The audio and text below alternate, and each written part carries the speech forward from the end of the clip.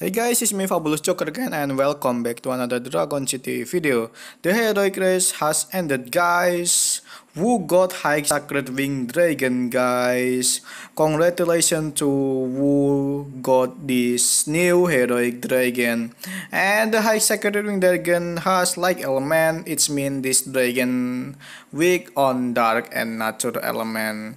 And today I'm gonna hatch this brand new High Sacred Wing Dragon. And here it is. Congratulations to all winner of the heroic race event. Hope you enjoy my video.